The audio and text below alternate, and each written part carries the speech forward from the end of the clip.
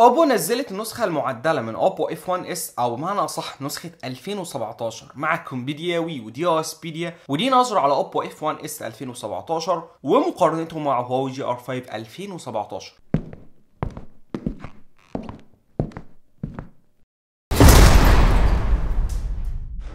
لما سألت اوبو مصر إيه الجديد في النسخة دي عن النسخة اللي نزلت من شهور كان ردهم هو حاجة المستخدمين. في السوق المصري المستخدم كان شايف إن التليفون كويس ده طبعا من خلال دراسة اوبو مصر للسوق المصري إن المستخدم المصري كان عايز تليفون 4 جيجا RAM وذاكرة داخلية 64 جيجا. نسخة السوق المصري كانت 3 جيجا RAM و32 جيجا ذاكرة داخلية. فللسبب ده اوبو نزلت النسخة دي وهو ده الفرق الوحيد بين النسختين. مفيش أي اختلاف في التصميم جودة التصميم العالية والمميزة السماكة والوزن الممتازين التشابه الكبير مع الآيفون اللي زغلل عينيك لو أنت بتحب الآيفون ولو حد شافك وأنت ماسك التليفون ده من بعيد يقول wow ده آيفون. حتى الشاشة ما زالت بدقة HD طبقة الحماية Gorilla Glass 4 مفيش أي اختلاف في جودة الكاميرا 13 ميجا بكسل كاميرا خلفية بفلاش أحادي وكاميرا أمامية بدقة 16 ميجا بكسل. نفس الصور نفس الدقة نفس جودة الألوان السيلفي الخرافي. ملك السيلفي حرفيا في الفئة السعرية دي. طبعا ده فيديو مختصر لإيه الجديد وفقط لأن في مراجعة مفصلة لنسخة ال 3 جيجا RAM وذاكرة 32 جيجا ومعدية ال 100000 مشاهدة على القناة. فمش محتاج إن نعيد نفس الكلام. هسيب لكم المراجعة في وصف الفيديو. البطارية طبعا جيدة جدا البصمة الخرافية really أسرع بصمة استخدمتها في هاتف ذكي الآن هي بصمة هواتف أوبو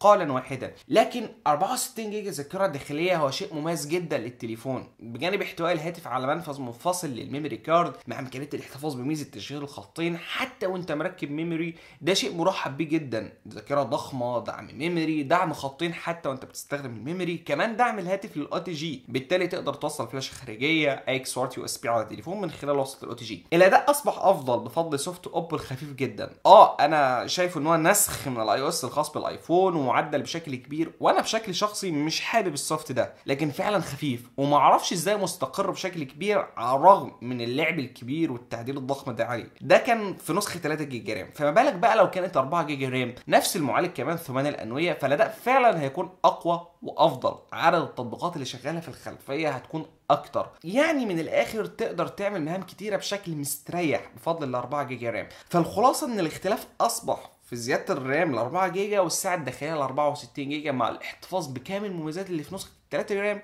وال 32 جيجا ذاكرة داخليه أما بالنسبة لمقارنة النسخة المحسنة مع ال GR5 نسخة 2017 فأنا عملت مقارنة ما بينهم بشكل مفصل لكن هنا تغير الوضع. أصبح الاوبو يتفوق في نقطة الذاكرة الداخلية والأداء العام. يعني أقصد فتح تطبيقات أكتر في الخلفية والسلاسه الأكبر في الاستخدام. غير كده تبقى مميزات وعيوب كل هاتف موجود في المقارنة المفصلة على القناة وتقدر تشوف مميزات وعيوب الاوبو F1s بشكل مفصل. في المراجعة المفصلة اللي أنا عاملها لنسخة ال 32 جيجا والمقارنة المفصلة أيضا مع الهواوي GR5 نسخه 2017 عشان تعرف مين ليه الأفضلية على التاني. مع الأخذ في الاعتبار إنك ممكن تزود ال RAM ل 4 جيجا والذاكره 64 جيجا في الأوبو وكل ده هتلاقوه في وصف الفيديو من خلال الضغط على عنوان الفيديو ده. لو عجبك الفيديو شايف إنك استفدت منه فممكن يوصل لك إشعار بأحدث مراجعات وقت نزولها من خلال الضغط على اللوجو اللي ظهر لك دلوقتي أو من زر الاشتراك الموجود أسفل الفيديو. ما تنساش ال like للفيديو وال share مع أصدقائك ومتابعتنا على الفيسبوك. سبحانك اللهم وبحمدك نشهد أن لا إله إلا أنت نستغفرك ونتوب إليك. السلام عليكم.